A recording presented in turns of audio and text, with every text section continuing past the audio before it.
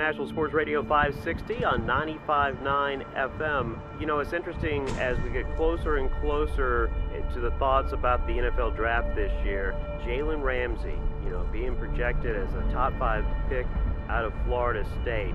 And, you know, just how crazy when you think about the path from Smyrna, Tennessee to Brentwood Academy to Florida State to being a first round draft pick. I just love the way that sounds.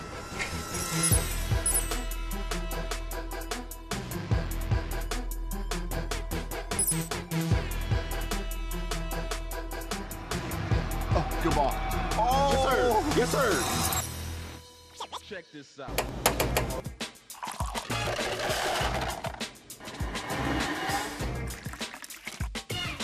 Jalen Ramsey. I played defensive back. I went to Florida State University. Right after my last game in Atlanta, the Peach Bowl, it was really time for me to pursue my dream. Uh, I thought it was time for me to declare for the NFL draft.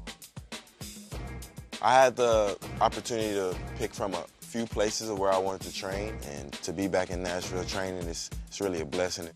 And the reason I really picked back home is because, uh, you know, RPT's trained me throughout my whole career of football. My dad's always trained me.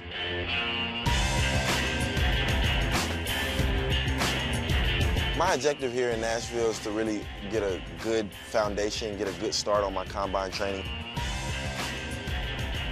Well, I got into training about 18 years ago, and it, it really started off with Jalen and his brother Jamal and his uh, cousin Marcus. You know, we've always been a, a team. You know, it's no one's bigger than a team. That's how we put it. So we know which buttons to push. My goal is going into the draft is just to be as prepared as I can be. I feel as if you're being considered, uh, you know, to be in the top five draft picks. If you're good enough to go number five or number four, number three or number two, you're good enough to go number one as well. Sometimes we get mad at each other like dads and sons do, but uh, then at the end of the day, we know that our, we have a common goal. You know, we want him to be the best at, at everything, not just on the football field, but in life.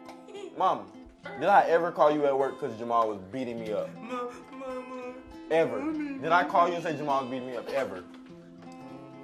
Yes. my whole family's here in Nashville, Tennessee. Um, you know, my family's everything to me. They're my support system. Why you put that whole meatball in your mouth?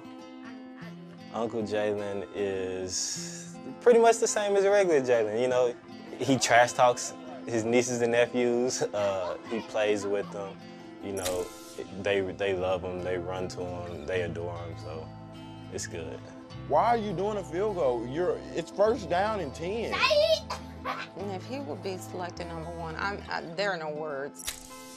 That would be major. You know, everything he's worked for, and, and to be picked number one, that that would be great. You don't have to do that. You're a diva.